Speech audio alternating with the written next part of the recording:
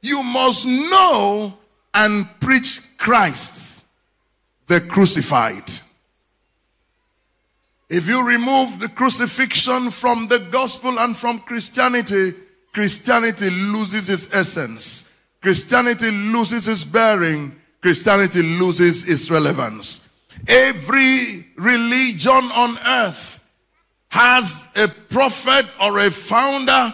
None of them ever, ever alleged that he was crucified. History does not record anyone as having been crucified and having been buried and on the third day or anyhow he rose up again. That record is eternally reserved for Jesus Christ. That is what makes your Christianity different from any other religion or faith. Am I talking to somebody here? So you must know Christ and the one who was crucified. That is the critical defining point of our faith. Praise the Lord. Hallelujah.